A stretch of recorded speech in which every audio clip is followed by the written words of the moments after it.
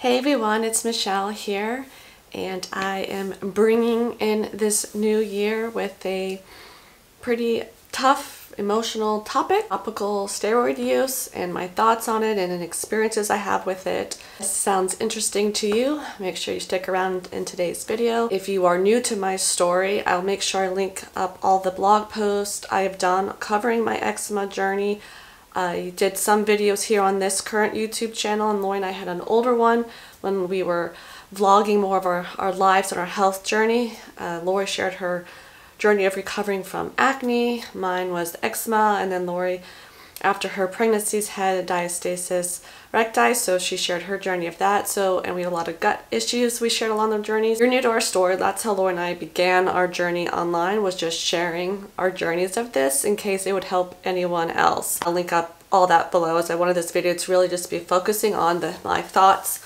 on steroids and uh, geared towards topical steroid and around the withdrawal symptoms around that. I will flash up pictures too, a little bit of what my skin looked like, why I'm doing this video. I had a mother message me on Instagram. Her son is facing topical steroid withdrawal, also known as TSW. I've heard about along my journey and I'll get into more of that here.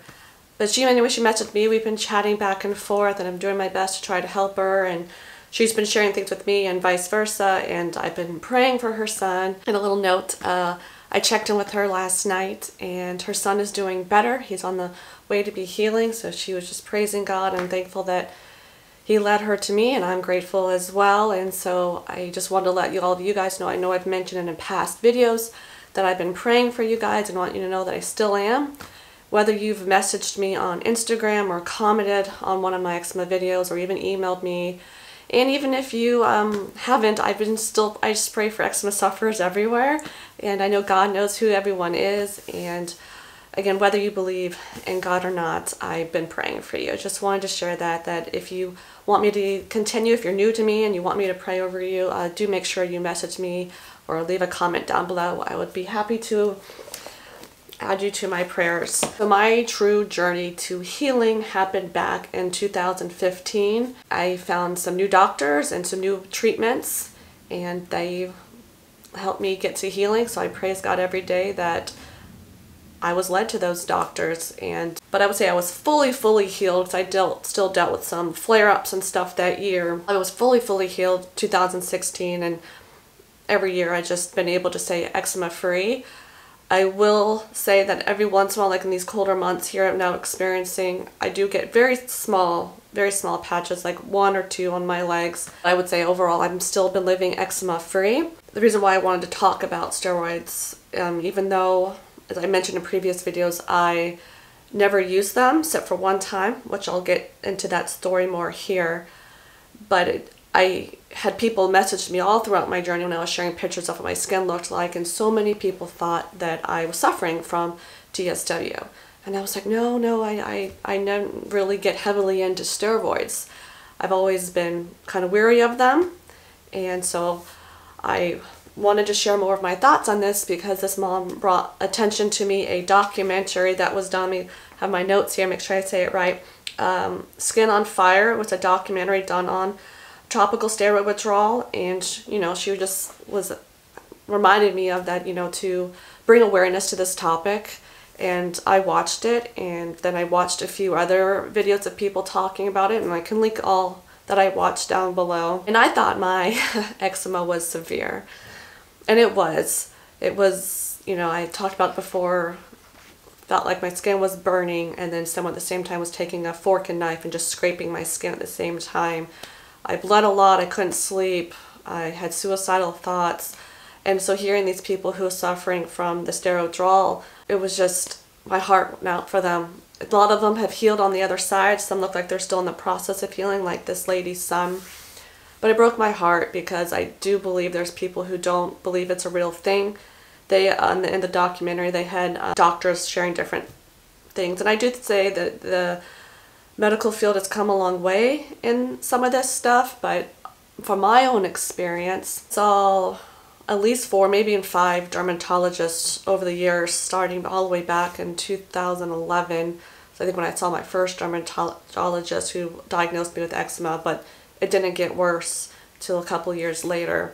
Again, I'll share it all my journey in the past. The first one, the reason I, the story I want to get into was they, the very first doctor that gave it to me, says, well, just when my eczema was mostly on my legs, gave me a topical steroid cream. And I was kind of hesitant at first because from a very young age, I've had digestive issues and I've always been more aware of health and natural ways. And so I was always a little hesitant of it. But I do know there's been benefits of steroids and there's a reason to take them for inflammation. And, and so I'm not a doctor getting into all that here, but I'm just saying from my personal experience. And please do remember this is my experience. It's not going to be the same for you. And my healing journey is going to look different than yours.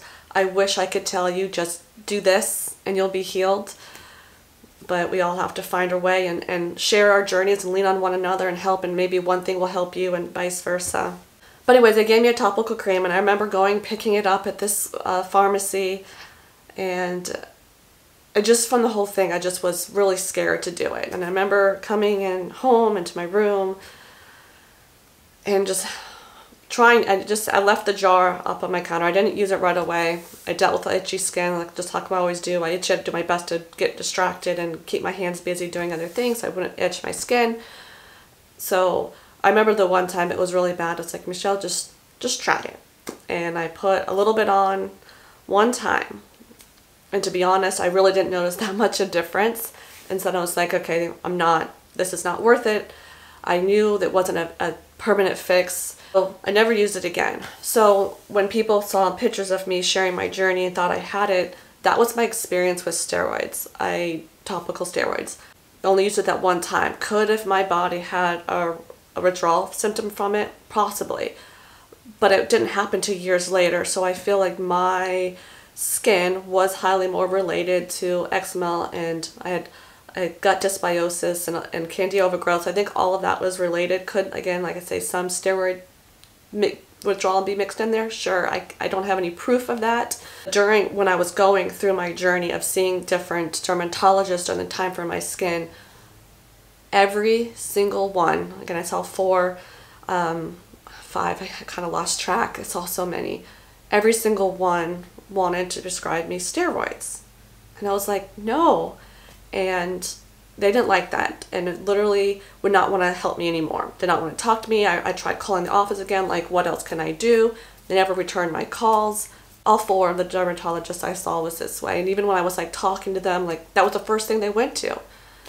And they just, in the documentary, they brought up that brought that up too. I just how sometimes that's the quick answer for some doctors. And I understand doctors are overwhelmed with a lot and they do the best they can based upon their training and what they have access to. There, I would say there are some, I think, doctors that care a little bit more about the patient and were willing to go different routes. And I, like I said at the beginning, God led me to some other amazing doctors. So first, I would pray that you find a good doctor. And I'm not trying to hear bash dermatologists. I think they're an important. I think you know, medicine and doctors are here for a reason to help people but we all have to remember, as I talked about in some of my previous videos, true really where healing and comes from, God.